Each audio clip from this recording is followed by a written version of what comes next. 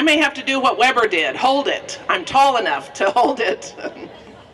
I don't usually use a lot of notes when I speak, but I have several things that I really wanted to say today, and then I want you to help me with a strong finish. My name is Rebecca McClanahan. I'm a registered nurse, 36 years as a registered nurse.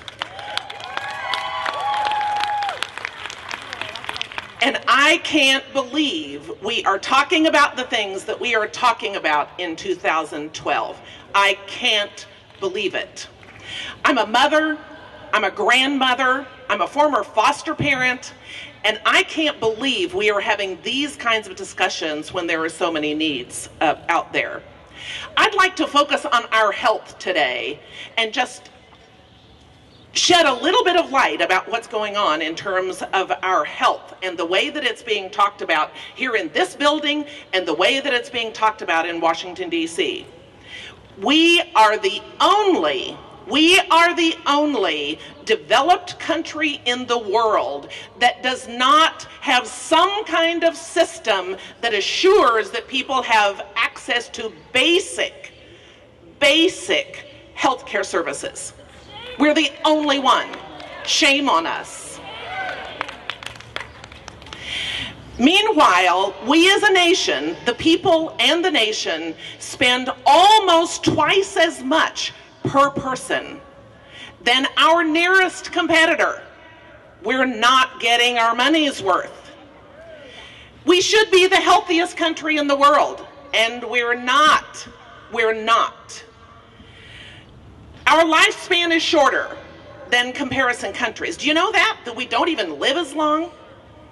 We have more deaths from heart disease in the United States than in a long list of other countries. And do you know what the number one killer is for women?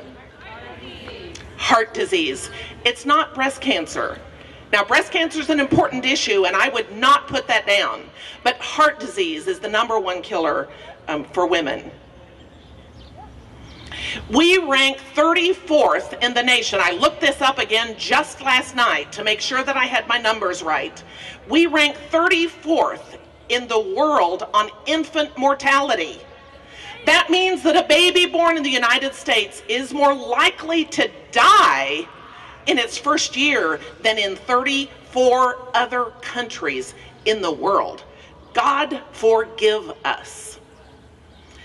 We rank 121 out of 136 countries where these statistics are gathered on maternal mortality. A woman giving birth in the United States is more likely to die than in 121 other countries. God forgive us. And then we fight about health care and make it all politics rather than health care.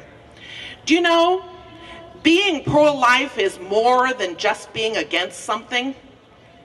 You have to be for something.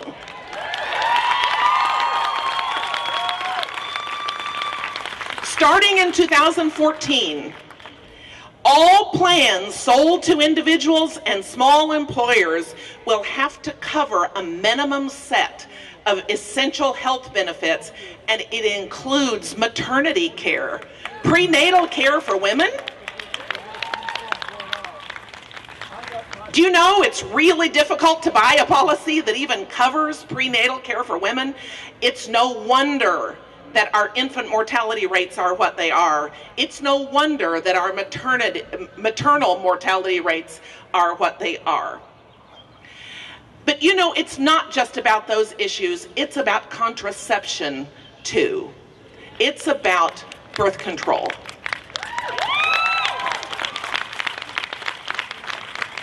I didn't even have this in my notes, but I thought about it as we walked up here today.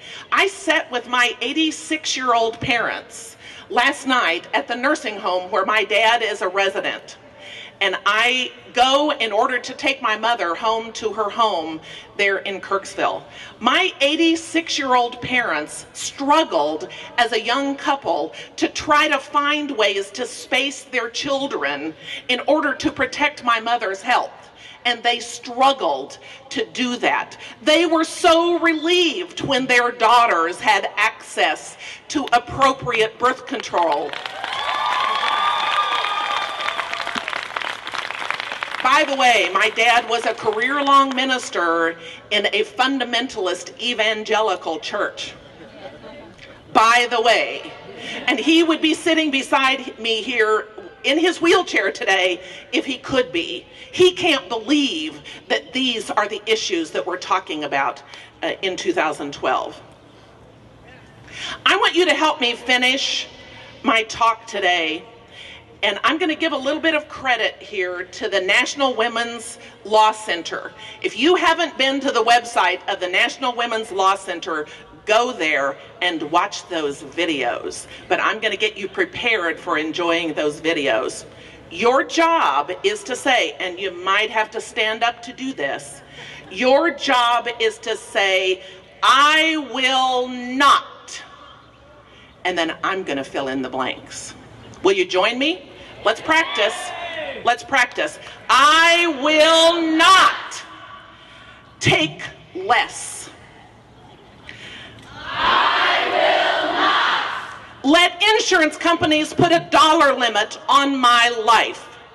I will not. Let them call what I've been through a pre existing condition. Be told that my sick child won't be covered. I will not. Wait another day not to know whether I have breast cancer or not. I will not. Be pushed around by health insurance companies. I will not. Told that I cannot protect my health. Told that I cannot get maternity care. I will not I will not be denied. Join me. I will not be denied.